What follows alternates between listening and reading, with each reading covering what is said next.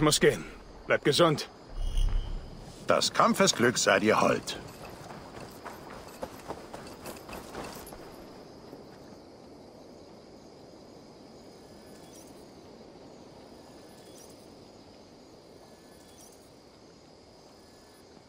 Sei gegrüßt.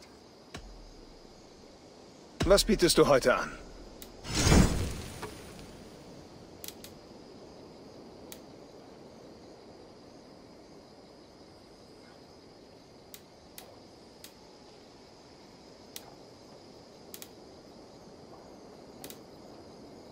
Einen schönen Tag noch. Hast du einen Vertrag für mich? Es gibt Aufträge zum Töten und Aufträge zum... Hm, naja, schon vor allem zum Töten.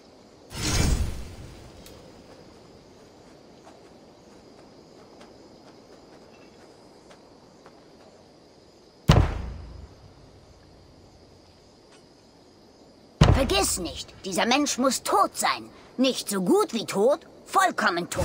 Denk bei der Arbeit einfach an den Lohn. Das sollte dich motivieren. Ich muss los. Bis bald. Geh ruhig. Ich werde hier sein.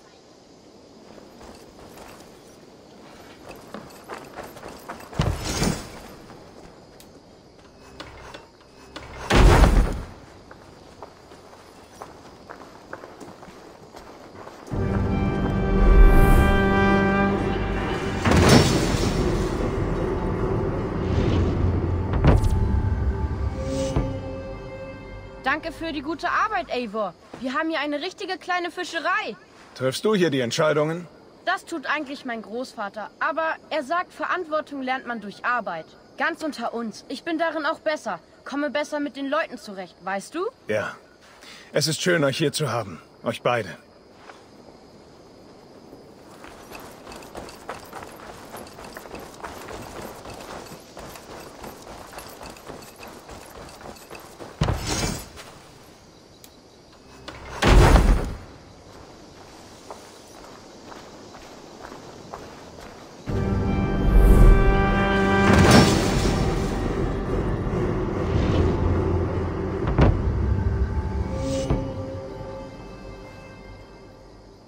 Vielen Dank. Egal ob Fell, Fleisch oder Knochen, bei uns gibt es von allem nur das Beste. Und falls du auf die Jagd gehen willst, bring uns deine Beute. Wir werden die Bälge und Schädel für dich herrichten. Oh ja, ich hänge Petras Siegeszeichen seit vielen Jahren auf und sie ist eine anspruchsvolle Frau. In allen Dingen. Gut zu wissen. Viel Freude mit eurem neuen Heim. Eivor, du siehst aus wie jemand mit einer Neigung für Siegeszeichen. Ich schätze jeden Sieg, doch ich behalte nur selten ein Andenken. Deine Waffen zieren die Male großer Schlachten. Auch in deinem Gang ist jeder deiner Triumphe deutlich zu erkennen. Oder irre ich? Keinesfalls. Warum fragst du? Ach, es geht natürlich um unser Handwerk. Werch ist der beste Gerber und Kirschner in ganz Englerland. Wenn du willst, dass deine glorreichen Jagderfolge deinen Tod überdauern, solltest du Siegeszeichen daraus machen lassen. Wenn du eine seltene und würdige Kreatur bezwingst, bring sie zu uns. Wir bereiten sie für dich auf. Eine gute Idee. Andenken, um das Langhaus zu schmücken. Vielen Dank, Petra. Oh, hättest du noch einen Augenblick, bevor du gehst? Für einen kleinen Gefallen? Worum geht es? Seit einigen Tagen höre ich jeden Abend das Geheul eines Wolfsrudels am Rand unseres Waldes hier. Ohne unser Eingreifen könnten sie das ganze Wild reißen. Und wer weiß, wenn die Hirsche tot sind, gehen sie vielleicht auf uns los. Du meinst, wir sollten sie verjagen? Ich würde sie alle erlegen. Nur mit deiner Erlaubnis, versteht sich. Und mit deiner Hilfe, wenn du Zeit hast. Eine gute Idee. Ich schließe mich dir an. Gut. Ein Wolfsrudel sollten wir keinesfalls unterschätzen. Gehen wir. Hier entlang. Zuletzt habe ich sie auf diesem Hügel gesehen. Geh vor. Ich folge dir. Die Lage unserer Siedlung ist hervorragend. Der Boden gut und alle Tiere sind gesund und vielzählig. Aber Wölfe sind eine Gefahr. Vielleicht sind die Ragnarsons deshalb weitergezogen. Die Menschen störten das Gleichgewicht der Natur und die Natur schlug zurück. Indem sie uns angriff. Ein Wolf tut, was er tun muss. Sie wurden vertrieben und sind nun zurückgekehrt.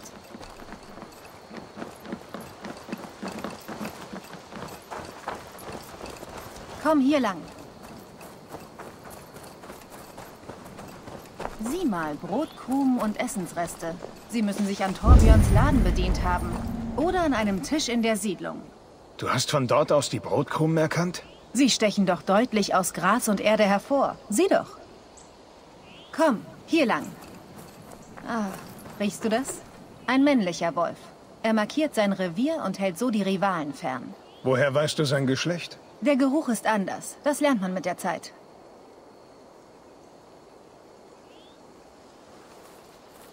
Wie wurdest du zu einer so guten Fährtenleserin? Ich stamme aus einer Jägerfamilie aus einem Gebiet im Osten, das du noch nie bereist hast, würde ich behaupten. Doch ich lebe schon fast mein ganzes Leben in Englerland. Hier haben wir auch Werch gefunden. Ihr seid Geschwister, so wie Sigurd und ich es sind.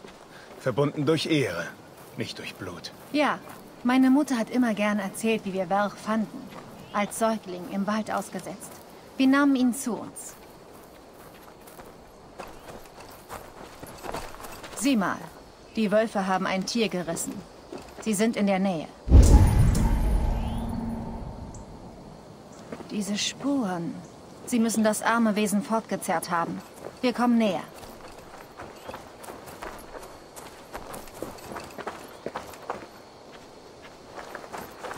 Ah, siehst du diese Bissspuren am Kadaver? Sie sind anders. Das war ein Rudel, kein einzelnes Tier. Ganz genau. Suchen wir weiter. Also fand deine Familie Welch in den Wäldern? Wir zogen gerade durch das Dickicht, als ich einen weißen Hirsch vor uns entdeckte. Ich verfolgte ihn in der Hoffnung, ihn zu erlegen. Ich verlor ihn auf einer Lichtung, doch auf dem Boden fand ich einen winzigen Säugling. Unseren kleinen Werch, gewickelt und ganz allein. Ah, sieh nur. Diese Spuren im Gras. Hier schliefen sie. Ich bin beeindruckt, Petra. Du hast eine Gabe. Noch hast du nichts davon gesehen.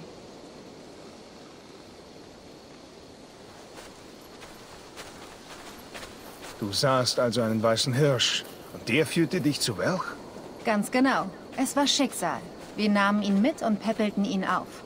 Ich war damals selbst noch ein junges Mädchen. Und von diesem Tag an wurden wir als Bruder und Schwester großgezogen. Hm. Diese Beute ist frisch. Sie sind nah genug dran, um uns zu hören. Sind wahrscheinlich vor kurzem erst geflüchtet.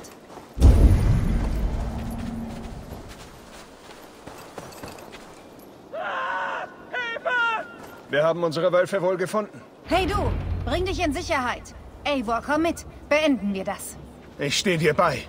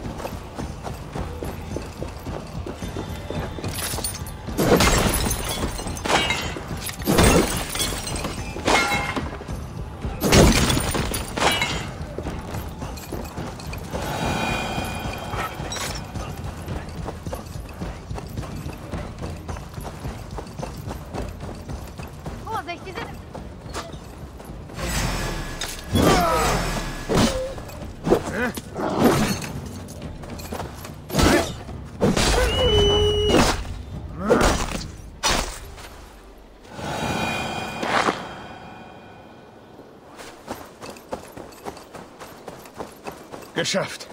Das sollten alle gewesen sein. Danke. Ich danke euch. Euch beiden. Geht es dir gut? Waren das deine Schafe? Mein Gott, das waren sie. Sie waren alles, was ich noch besaß. Diese armen Tiere hatten keine Chance. Vor ein paar Monaten verlor ich meine Kühe. Jetzt auch noch die Schafe. Was für ein armseliger Bauer ich doch bin. Das tut mir wirklich leid. Die Wölfe sind fort. Wage einen Neuanfang. Ohne den Segen der Götter werde ich scheitern. Aber ich werde es versuchen. Dir bleibt noch dein Leben, Bauer. Damit allein kannst du stets neu beginnen. Eivor, warte. Ich hab was gehört. Was? Oh, Grundgütiger! Vorne! Rohesia! Meine Schätzchen! Ihr seid am Leben! Ach, kommt her, meine teuren Engel! Am Ende wird alles gut. Das war großartig, Eivor. Du jagst fast so gut, wie du kämpfst. Gib mir ein paar Wochen, dann lese ich Pferden ebenso gut wie du. Oder besser. Es wäre mir ein Vergnügen, dir zu helfen. Das hat mir gefallen, Petra. Zögere nicht, mich aufzusuchen, wenn du erneut auf Bestienjagd gehst. Du sollst zuerst davon erfahren, Eivor. Bis bald.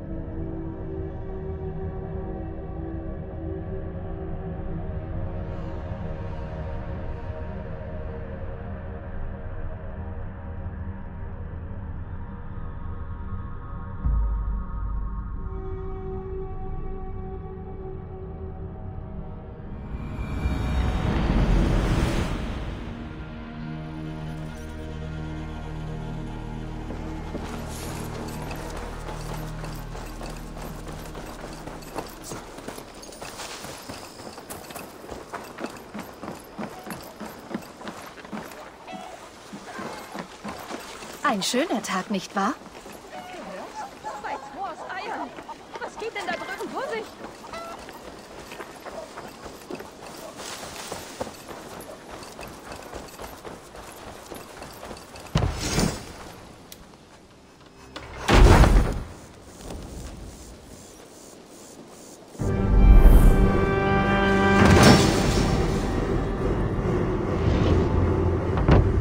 Das ist wirklich gute Arbeit. Danke, dass du das erledigt hast.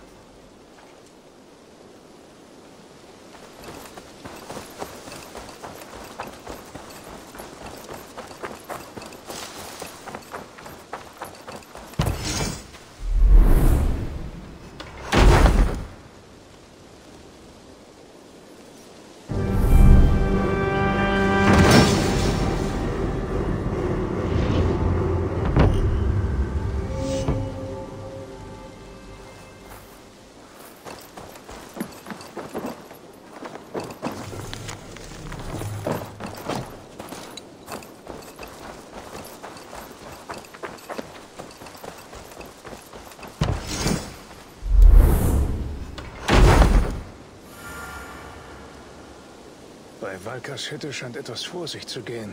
Vielleicht sollte ich...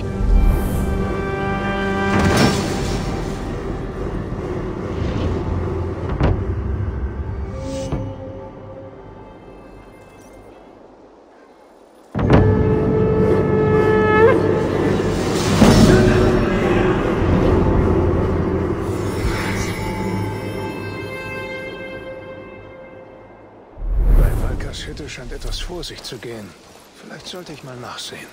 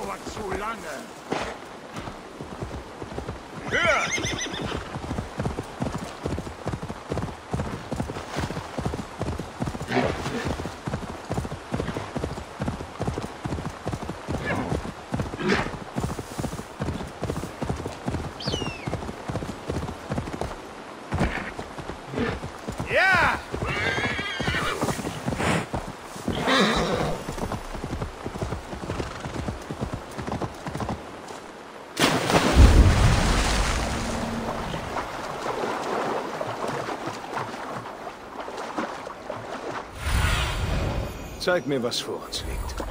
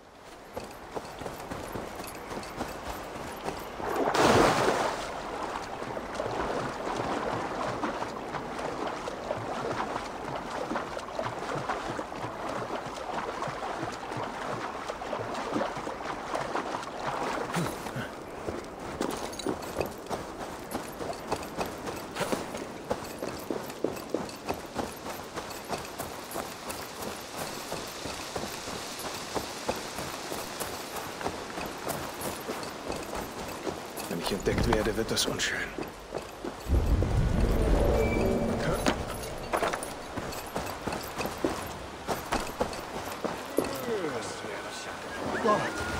Was ist denn jetzt? Dieser Sünd und angelegt. Het und ihm Sündern maar am Foto. Was soll denn das? Das het man mit. Stunch. Das geht auf Zeit.